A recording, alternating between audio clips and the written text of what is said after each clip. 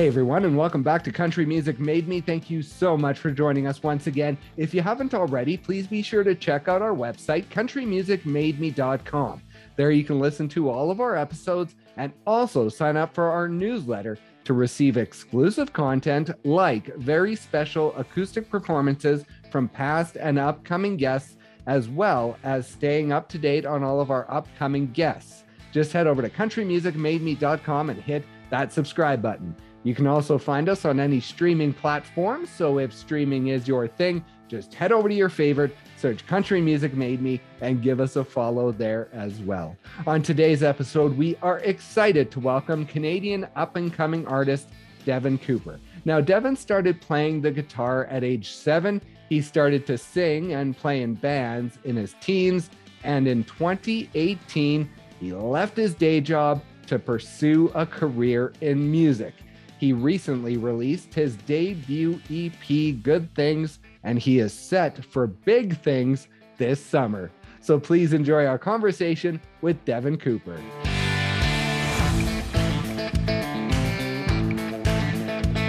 Let's start at two years old. And I read something about uh, you cranking up the Beatles CD in your parents' home. And that was sort of the start of your love of music. Now, do you remember back then like when do your memories kick in from having a very vivid memory of when music really started to touch you and really started to make you feel stuff inside well it's interesting because my we had like one of those home video cameras like the big vhs whatever massive thing. so right, yeah I think my memories get confused with watching myself because we have so much video of me when I'm younger and I almost feel like I remember those moments. So I don't know if I remember them or if I just like have watched it so many times that I like know what the feeling was like. Right, yeah. But I remember being I might have been just like yeah, 2 years old and we had one of those big like stereos that everybody had back in the day with the big tall speakers, tower speakers, and we had the Beatles anthology CD and I just remember putting it in and turning up the song Day Tripper and just cranking it as loud as it would go and that like opening guitar riff and it just right. like captivated me. And then my mom also had like a Yamaha Clavinova piano that could also like play itself. You could put like this book in it and it would like play a song and teach it to you. Oh, okay. And I remember putting on this like it was like a 12 bar blues boogie song or something like that and you could turn the keys off so you could just like play along and it wouldn't make sound. Yeah. There's a bunch of videos of me playing along to it and like bobbing my head and stuff. And I was maybe like a year and a half at that point. Oh, really? Wow. Maybe just two. And it was like, uh, you could tell that there was a bug there from uh, from the start. That's great. And now your mom was in the healthcare field. Your dad worked on custom cars, custom motorcycles. So within the musicality of it, I know they played music, like your dad was always cranking music in the shop. But as far as that love of actually doing it and actually performing and that part of it, do you know where that came from? Is there any other family members who had that love and passion for music in the same way? There's, uh, I have a few cousins and things like that, and a couple uncles that have like played over the years, but uh, there was nothing that uh, nothing in my direct family in terms of like my mom, dad, grandpa kind of thing, grandparents uh, that was like a direct correlation of like that's where that came from. Right. Everybody always loved music. Um, my grandma says uh, she couldn't carry a tune if it was in a box, and uh, there's just like everybody loves music, but nobody just like really played it. My dad played piano growing up. He uh, took like eight years of Royal Conservatory piano. Oh wow! And uh, but never like could play. He could always read the music and play the notes, but never could like just play. And oh, that was okay. like it kind of uh, got to the point where he was like, "This isn't something that I can do. I can learn how to do it and like follow what I'm supposed to do, but I can't just like feel it and do it." So uh, I think a lot of people have maybe tried, but no one has uh, it all built up and I got it all. right. Yeah, exactly. And now one of your other loves and passion, I believe, is golf. And one of your grandpas, your papa, you call him, I believe, got you your first putter when you were two years old. Now, talk about him and just the inspiration that he's been, not necessarily musically, but just as a person throughout this journey because I know you still hit the golf course with him, I believe. Yeah, we're actually going golfing for the first time this year, right after this podcast. Oh, nice! So That's awesome. I'm I'm, uh, I'm excited for that. We haven't been able to get out this year yet, so that'll be fun. But yeah, from the time I was a little kid, uh, like I've been super close with my grandparents my whole life on both sides, mom and dad's sides. So this is my dad's dad. Oh, okay. And uh, growing up, he was he was a big golfer, and so when I was like two years old, like you said, he got me my first putter. It was a cut down, short little putter, and took me out to the golf course just to start kind of whacking balls around. And uh, I think I got my first membership in Innisfail when I was like five, excuse me, five years old.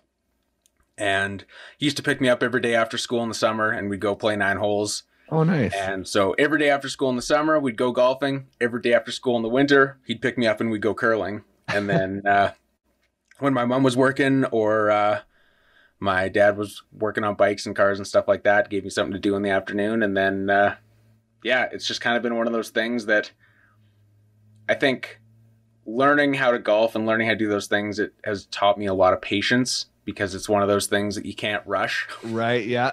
and I think that that has been uh, probably a pretty important uh, life lesson along the journey, like you said, and uh, just learning how to take the time to learn something and have the patience to be able to get through it.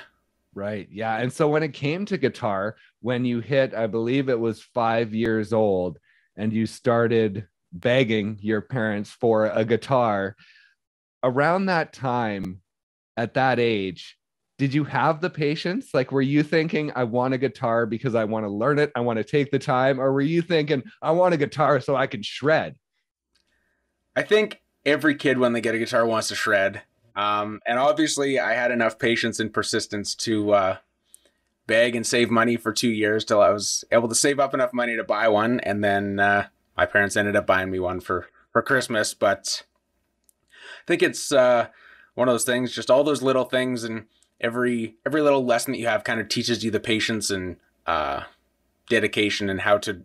Uh, when you want something, doesn't always happen right away, but you got to work for it. Right. I think I was I think I was fortunate enough to learn that very early on.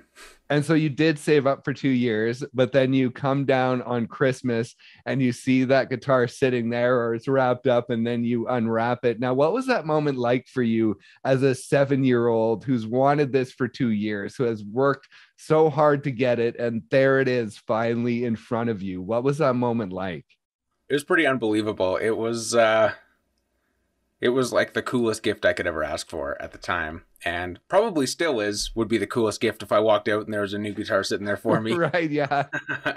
but uh, it was just one of those things. It's like I've been I've been saving and wanting this for so long, and I could finally I had enough money to buy something out of like the Sears catalog, and then to actually come out to like a real electric guitar and amp and everything sitting there. It was uh, it was literally life changing. yeah. And is that guitar still around? Is it still within your collection or at your parents' house? I do still have it. Yeah, it's not here. I don't have room for it on this rack. I have another rack at my parents' house still that is uh, full of all my other guitars. And so, how many do you have? What does your collection entail these days? I don't even know my the number count. I think it's probably like thirteen or fourteen. Oh I wow! To, I would have to sit and think about it. There's how many here? Two, four, six, eight there, and then there's probably there's eight there. I got some in the other room, and then probably five or six or seven more at my parents' house. and so that love of not only playing but also just guitars is there sort of two areas of your brain that you have one where you love just the guitar part of it and maybe what a guitar means to you and the other side of it where it's the musicality of it? Yeah absolutely. And i think there's a bit of crossover in the middle too because i think the cool part about all of the different guitars is they all sound different they all play a little different they all feel a little different. They're all made with like a piece of wood out of the forest and it's like basically you take a chance you have these two pieces of wood and you put them together and you hope that they resonate properly you hope that they create sound the way that you want them to and it's really interesting to hear how different guitars of different woods sound different, play different, work different, and then how different shapes and sizes and looks and different types of finishes make them sound different. And I think that also goes back to like the custom car and bike building that I grew up watching is like it's like an art piece. Each different one can like tell a story just by looking at it.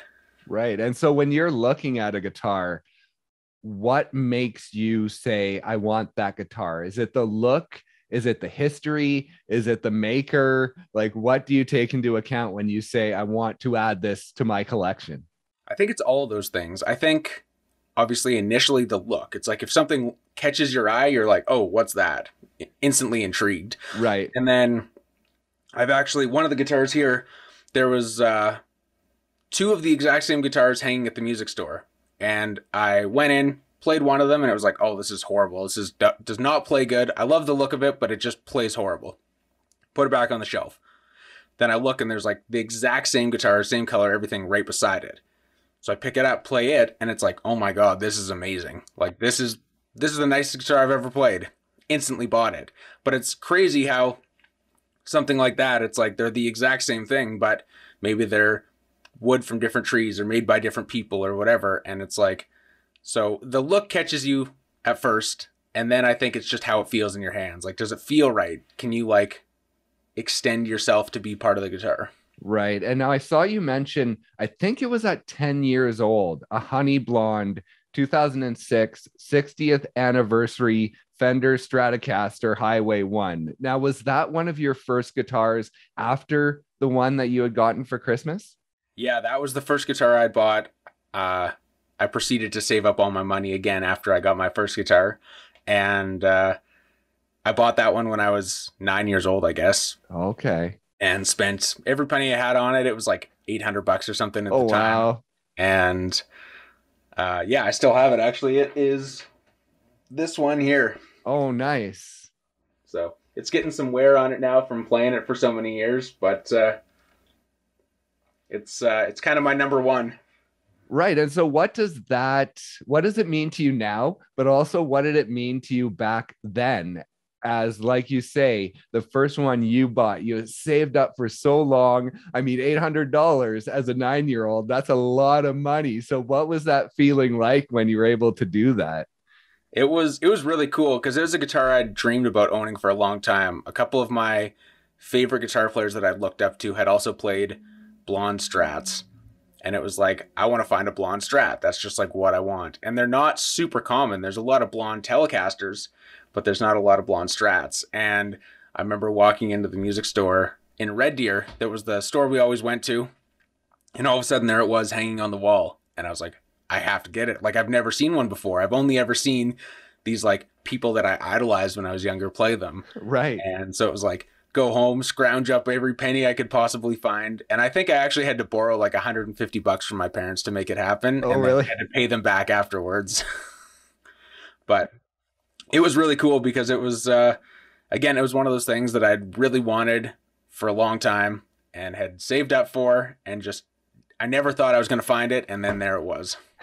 That's awesome. And so when you first picked up the guitar, like at seven, when you got that guitar for Christmas and you started taking lessons, how quickly did you take to it? Was it something that came fairly natural for you, or did you have to work pretty hard at it to actually get somewhere off the beginning?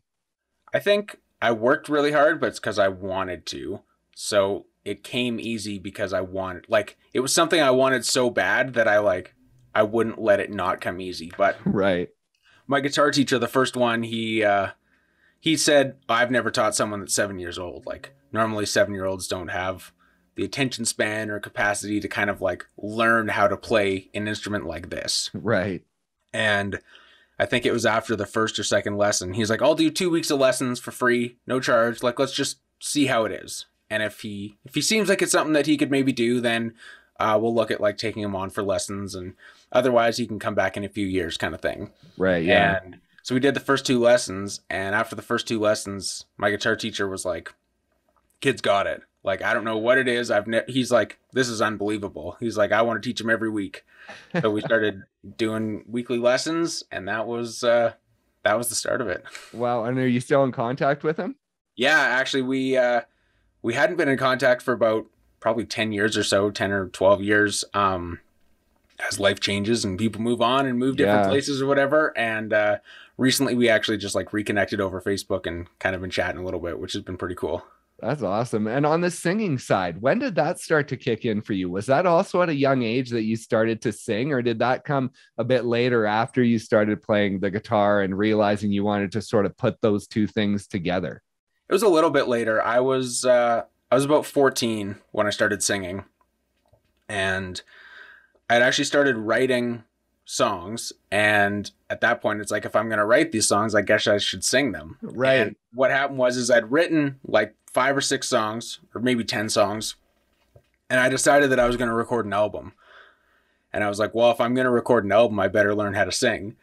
then I, uh, because I had these songs and I wanted to record them, and so I started taking vocal lessons and actually had to jump around between a bunch of different vocal coaches because all of them tried to get me to do all these things that could never like resonate with me and it was never something that would uh like put me on the right track to singing how I wanted to sing and how Right. I needed to learn there was nothing that would like connect with me and then I finally got one teacher uh, out of Sylvan Lake, and she was like, "Do you normally play guitar?" And I was like, "Yeah." She's like, "Well, bring your guitar." And then she was able to realize that like when I played guitar, then I could sing because it was almost like I could pitch match and like match the note that I'm playing on my guitar. Whereas if I was just like free singing in the air trying to do it, it's like I couldn't connect. It didn't make sense with what I was trying to do at the time. Right. And- yeah. So it took like probably four or five different vocal coaches till we found this one, and it was it was actually getting kind of frustrating at the time because it's like I want to do this and nobody's able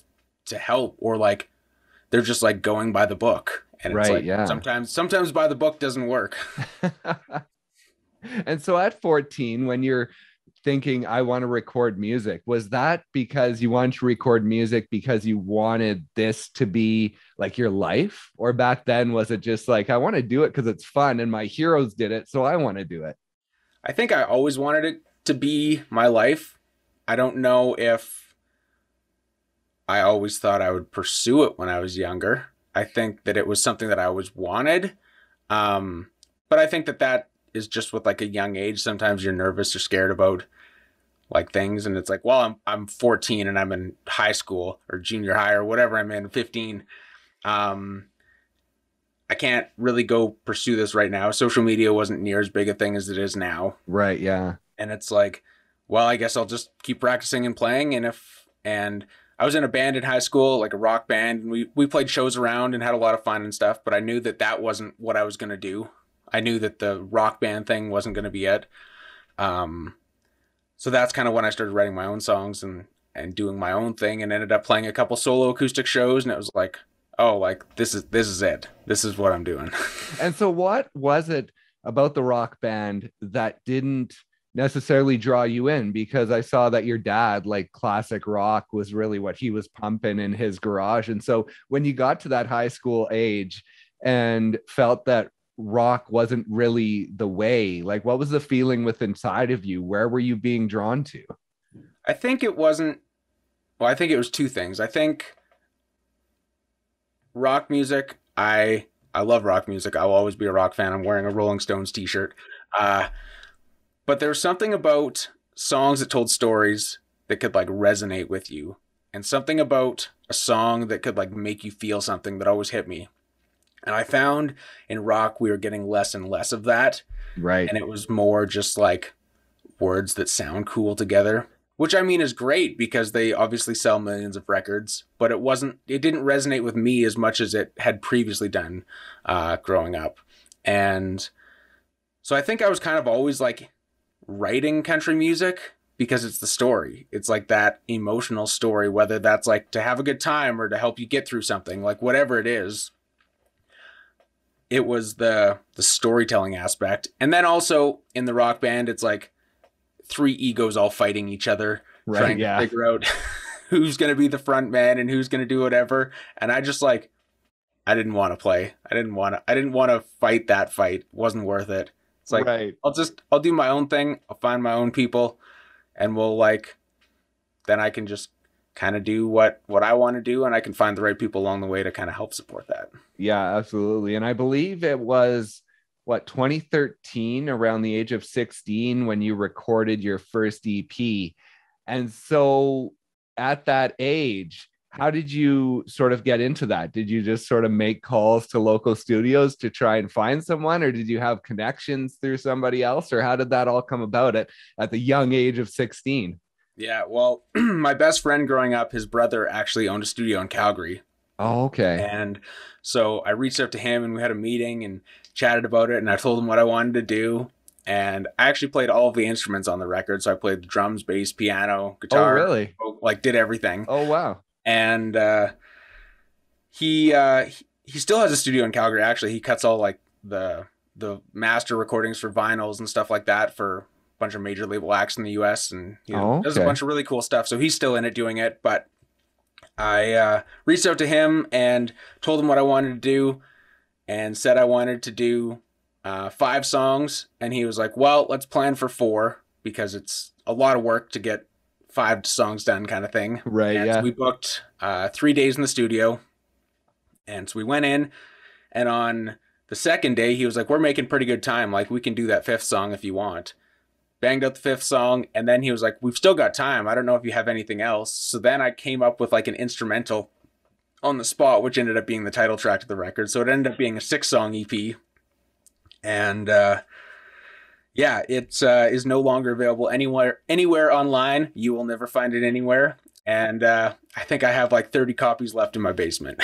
That's awesome. And so, was it like country rock leaning music, or what was that first EP? Was it all over the place? it was a little all over the place, but it was pretty bluesy. It was like blues rock kind of thing, but Okay. still that like storytelling aspect in all of the lyrics that if you stripped it down to just an acoustic guitar and a vocal, it could probably get away as country music. and so, when did it sort of start to change and move more into the country genre for you and incorporating more of that bluesy rock sound, but then bringing in more country to it? I probably would have been about 18 years old. I was I moved to Calgary, was going to Sate for college, and I still hadn't really like listened to a lot of country music, and I didn't really know that I liked country music even at that time, but I just knew that I liked storytelling songs and a song that like hits you. But my car I was driving was a 76 Oldsmobile, and it only had an AM radio. And the only station I could get was the AM country station in Calgary. And so driving back and forth to school, that's all I could listen to. Right. Every day back and forth for a year, that's all I listened to. And that like really opened my eyes is like, oh, there's actually like a ton of diversity in the country music genre that um isn't necessarily like all of the stereotypical stuff that you hear when you don't grow up in the country music genre Yeah, exactly. and uh, then I was it was maybe six months later, something like that. I was uh, asked to go to a concert with a friend of mine, and he was like, "I think you'll really like this concert. It's at Cowboys, the country bar in Calgary." And I was like, "I don't want to go. I don't want to go. I just it's not my thing." right. Yeah.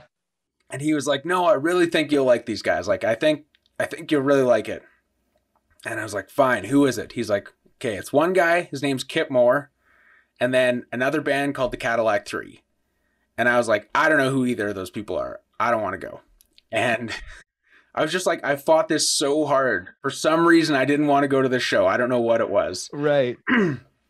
and actually, the two days, I'll back up a little bit. I was in the studio recording, doing a demo with uh, one of the guys who's now one of my producers and uh, also plays my band, and another friend of mine.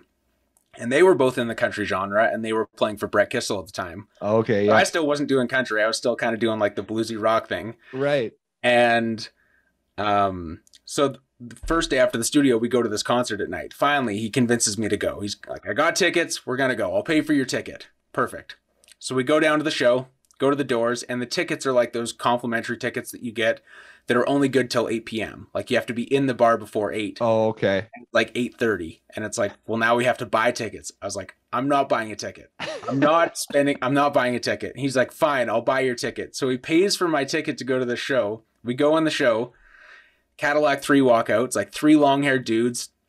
Looks like like a modern ZZ Top kind of thing. And I'm like, oh, this is cool. And they like hit the first note of the set, and I'm like, like this can be country. Like I didn't know that. played the they played their set. I was just blown away. Kip Moore comes out, just like cool looking guy wearing like an Indian motorcycle t-shirt. Played his whole set and that show literally changed my life. From like that day forward, it's like, okay, now I know where I'm supposed to go. Wow. That's amazing. And Spencer Cheyne, I believe, was one of those guys, the guy that you were working in the studio with, I think. It was uh, it was actually Justin Cutting, so the bass Oh, player. okay. Oh, okay. And a uh, little bit a uh, little bit after that, he introduced me to Spencer Cheyne, and uh, we have uh, been working together pretty much since then.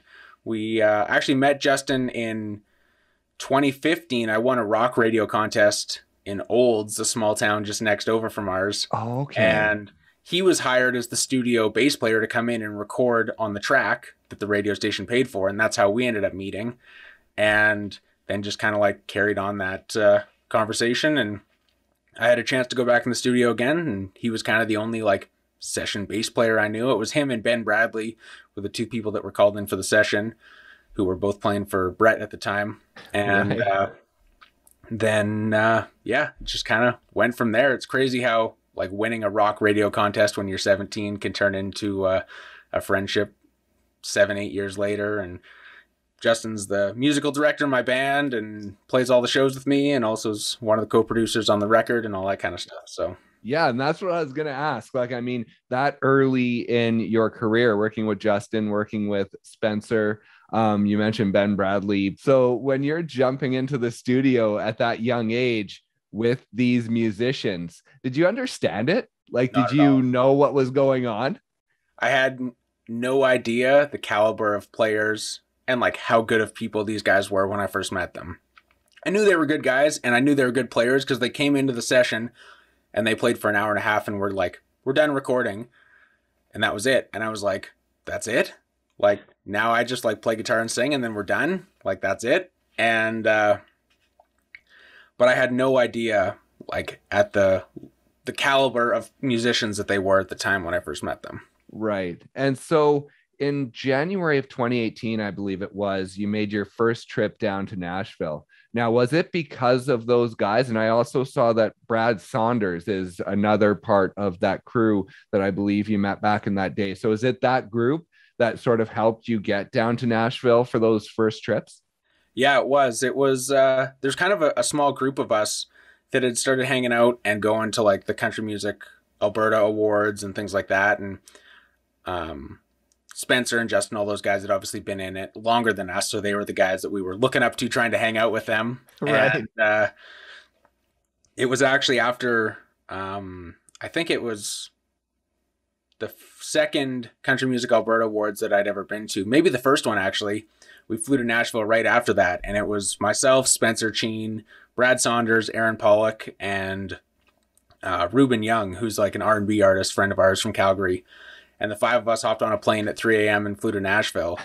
and I had no writes lined up. I didn't have anything going on. All these guys had been there multiple times, except for Ruben. Ruben had never been there.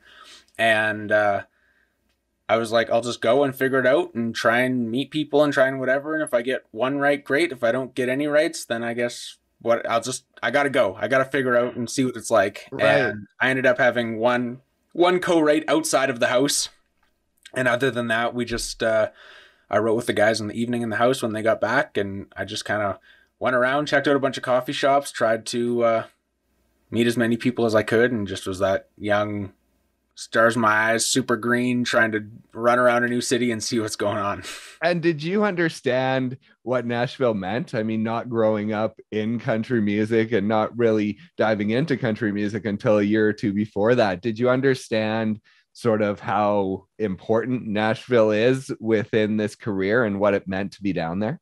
Yeah, at that point I did. I'd I'd started co-writing a lot. Um, probably in 20, 2016, I'll say I started um, like really diving into writing and co-writing, and had written a ton of songs with a lot of people around Calgary. And then I knew that all of the hit writers were basically in Nashville. So it's like well, I need to write enough songs that I can become a proficient enough writer that I can at least reach out to these people and see if I can book a writer, meet them, or when I meet them at the CCMAs or meet them at the Country Music Alberta Awards, then it's like I have something to show kind of thing for for the work that I've done and can at least like talk shop and feel a little less intimidated when I walk into the room with them. and now I think I saw that one of your last trips you wrote with Carolyn Dawn Johnson. Now, is that one of your biggest writes that you've had down in Nashville, or are there some others that kind of mix in with that that are pretty big for you? No, that would probably be one of the biggest, and it's actually cool. I uh, I ended up staying at her place when I was down there. Oh, really? We've since become friends, which is pretty cool, and I've, I've been able to stay there a couple times. I was in there. I was there last October, and we stayed there for a month, and it was. Uh, she's just one of the most amazing people in the world. Just heart of gold, and uh, to be able to sit and write with her and just like hear her sing and sit there and play guitar and play piano, and it's just unbelievable. And so going down there for a month, you've traveled back and forth over the last few years. And like you say, your last trip was about a month. So as you go down there more, is there any thought to move down there at some point?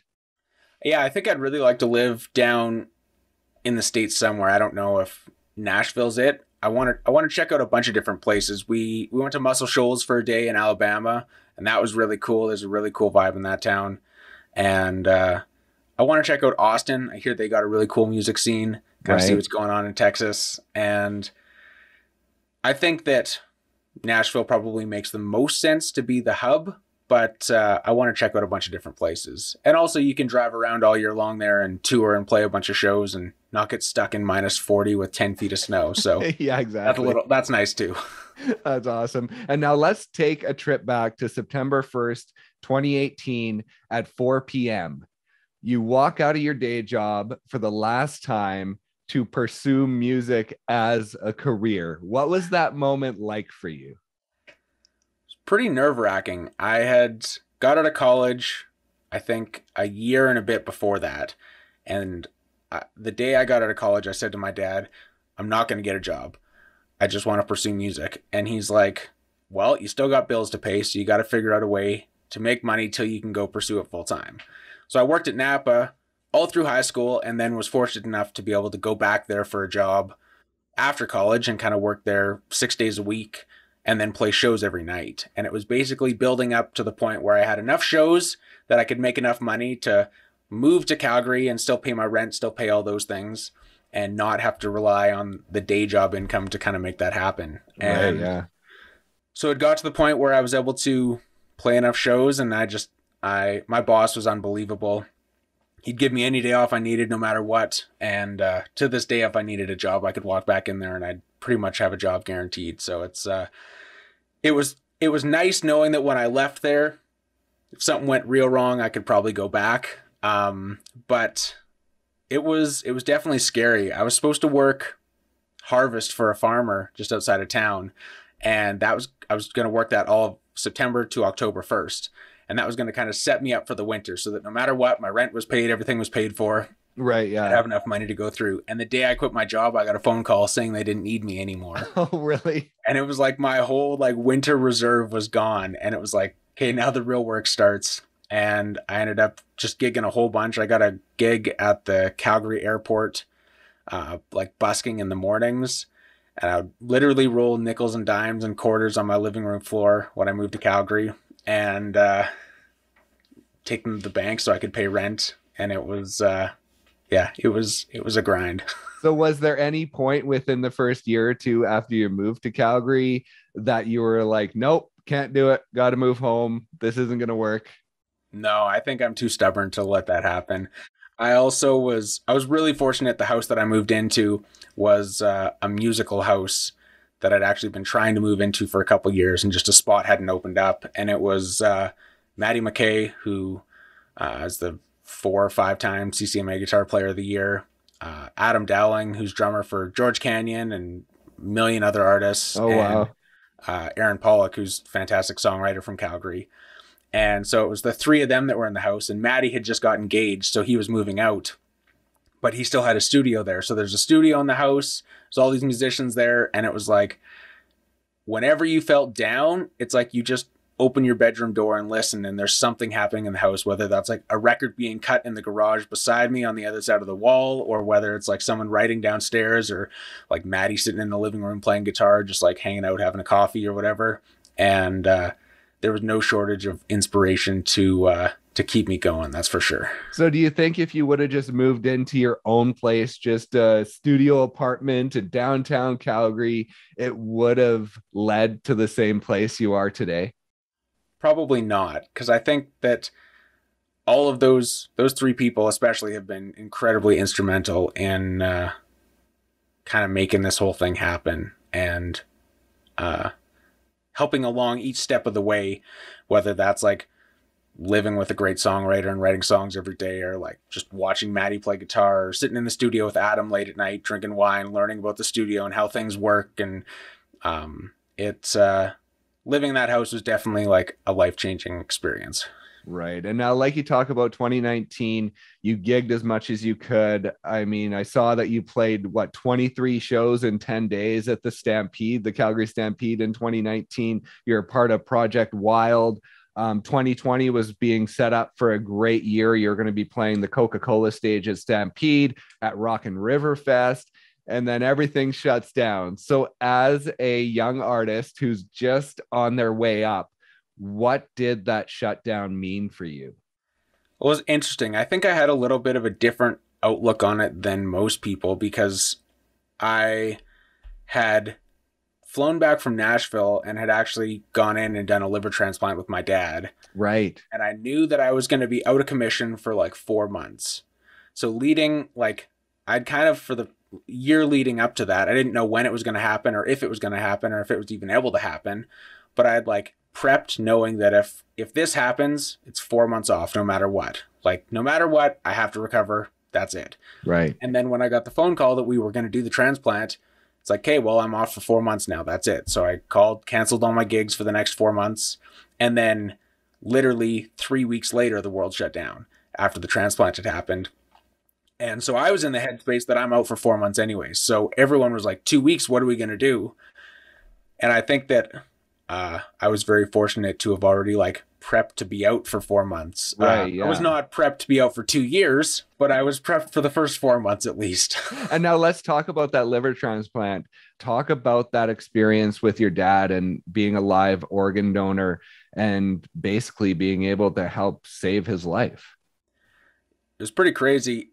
I still, uh, I still don't think it's really hit me of what actually happened, even though we're over two years after it's happened. It's uh, it was one of those things that it was just like everything was kind of a blur at the time, and it was uh, I'd found out in May 2019 that he had uh, liver cancer, and it was just kind of like a luck of the draw thing, just like one of those things you just get cancer kind of thing. Yeah. And uh, at that point, I was like, bound and determined whatever I have to do, I'm going to be a donor. I was like, I don't know, or not even a donor. I'm just like, I'm going to fix this. I don't know how. And my dad's like, well, you can't. Like, that's, that's nice of you to think that, but you can't. So I was on Google research and everything. And I found out that you could be a liver donor, but there was, it was significantly more difficult than like a kidney or other things like that. Um, because 40% of people die waiting for a liver transplant and 40% of people are not eligible to donate a liver because it doesn't match due to the um, anatomy of the liver and the size of it and how the basically the plumbing works in the liver and and all that stuff. So um, it was like eight months of my dad going through tests and trials and all that kind of stuff to figure out what exactly they needed. And then when he was able to get onto the donor list, then I could put myself up voluntarily to be a donor. And he couldn't say no to that because uh, he doesn't have a choice. I'm volu- voluntarily putting myself up, and him and my mom definitely did not want me to do it at the time. Oh wow. Um, being the only kid, they didn't want me to put my life on hold, kind of thing. And I was like, yeah. doesn't matter, whatever, I'll do whatever. And so I was supposed to have like a mock-up kind of thing for uh, like MRIs and blood tests and all that kind of work at the end of February 2020. And I was in Nashville at the start of February and got a phone call from the hospital actually in the middle of writing the song Good Things. Oh wow. And they said there's been a cancellation. Uh, we're able to move up your blood work and testing and all that stuff to find out if you're an eligible candidate to next Monday. And I was like, will that affect the potential outcome of a transplant date? And they were like, nope, not at all. They're like, there's way too many variables. It's at least six months away. And I was like, okay. And I was like, wait, so you're telling me there's no chance that it could change anything? Like, two weeks won't change anything at all? And they're like, well, we're not supposed to tell you this, but the following Monday after that, there's been a cancellation in the operating room. And if you are a candidate and it will actually work, there's a chance that we could get you in. It would be two weeks from now. And I, but they're like, there's so many variables that are unknown that um, there's no way we can commit to that. Because, like I said, 40% of people are denied based on just the anatomy of it. And then you have right. to go through like social worker questions and stuff like that. Are you able to support yourself for the next few months while you're out of commission, kind of thing? And or have you been coerced into doing this and all that kind of stuff? And uh, which I obviously was not. Yeah. and uh, it, uh, so I changed my flight. I actually wrote with Carolyn Dawn Johnson in the morning, in the morning, flew back the Monday afternoon and uh, drove to Edmonton overnight and spent there three days there doing all the MRIs and mock ups and blood tests and whatever. And at the end of the three days, it would have been Thursday morning, I think, they said, All right, well, we've done everything and you are a potential you are a candidate so you could do this. Um, if you want to do it we can do it monday morning. And this is thursday. And we're like just unbelievable that it happened like that wow we come home i played gigs friday night saturday night and sunday we went back to edmonton booked into a hotel across the street and monday morning went in for the operation and uh, yeah now here we are just over two years later I'm healthy. My dad's healthy, cancer free. Everything's pretty much perfect. So, wow. And you've always had a strong bond with your dad, but that did that strengthen it even more?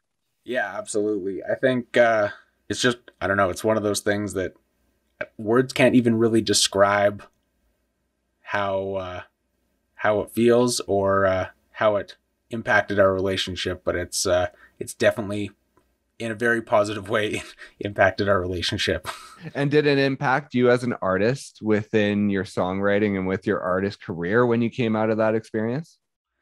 Yeah, I think that it was a long year leading up to that point and it was like it was uh definitely like a lot of s- struggles leading up to it of like there's a lot of things that could go wrong. Like it if he gets sicker he could he could die before i am able to do it or like we don't we don't know what the outcome could be. And it's just like it kind of reinforced uh appreciating the journey and like appreciating each little milestone that you you have along the way and to not take anything for granted. And then especially because coming out of that the world shuts down and it's like uh, if the if the surgery had been pushed two weeks, it would have not happened. And right. Yeah. All elective surgeries were canceled and so it just i think it it gave me some uh some clarity on slowing down and appreciating the moments in life wow and so the two years that followed just the shutdown and not being able to play and as an artist basically being stuck within your career what did that mean for you because i talked to a lot of artists who off the beginning it was really difficult. But now that we're sort of coming out of it, they've realized it was actually somewhat of a good thing and they were able to find themselves more as a musician because they had time to stop and really do some inward thinking. So was that similar for you? Yeah, absolutely. I think I uh, I hate sitting around, so I always try and find something to do to keep me busy. And for the 3 years leading up to that point, I'd written so many songs, played so many shows, but I'd kind of taken a break on recording because I wanted to figure out who I was, write enough songs to figure out what's the direction I want to go, play enough shows to figure out, like, well, what's the voice I need to have moving forward. So then it gave me a chance to sit down and look at everything that I'd done for the past two years and figure out what we wanted to record, where I wanted to go, who I am as an artist, like what my voice is, what my vision is, like what's the trajectory we want to go on moving forward.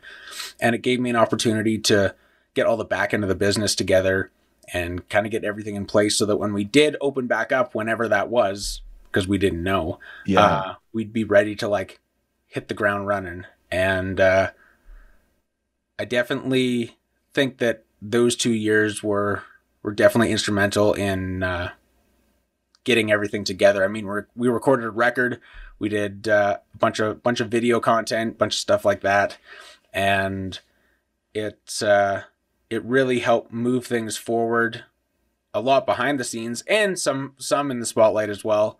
Um, so that when we came out of it, it would just be like, cool, this is what we're doing, this is where we're going. Right. And so the new record is Good Things. Was it an exciting process or was it more just let's get back into it? Let's get back into the groove. Let's do this. Let's start making music and more of just switching back into that artist mind of let's get going. I think it was a bit of both. It was really exciting because I think on this record and this batch of songs especially, we really found the groove of what it what it is I am as an artist, the sound, the production styles that we want to use. And Spencer, Justin, and I spent days sitting in the studio trying different things, working on different stuff, and just like messing around with different sounds, trying different ideas. And and we had all of these visions of these different sounds and different things we'd like to bring together. And then it was like finding a way to make them work together to create this sound that is kind of like everything that my life has been brought together into one. And so it was a really exciting process because when you finally like hear that sound or hear like the start of something coming to life and you're like I've never felt this way about a recording before. And so that was a really cool thing. And then it was the whole releasing it and it's like that's a nerve-wracking thing especially when it's a little bit of a new sound a little bit of a departure from what i had done previously because before it was kind of like we're like throwing darts at a board and we're trying to get different things. Right. It's like I feel like we've hit the bullseye here, but is anybody else going to think that? And in a sense, I didn't really care because it's like, well, this is what I am. This is what I want to sound like. This is what I sound like. Right. Uh, some people will like it. Some people will hate it. Hopefully, it doesn't make them feel nothing. Because if they love it, they'll talk about it. If they hate it, they'll talk about it. So.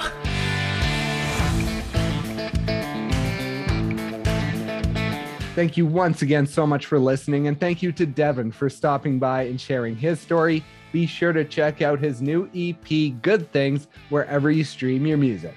Please also be sure to check out our website, countrymusicmademe.com. There you can listen to all of our episodes and also sign up for our newsletter to receive exclusive content and stay up to date on all of our upcoming guests just head over to countrymusicmademe.com and hit that subscribe button. You can also find us on any streaming platform, so if streaming is your thing, just head over to your favorite, search Country Music Made Me, and give us a follow there as well. Thank you once again so much for listening, and we'll see you next time on Country Music Made Me.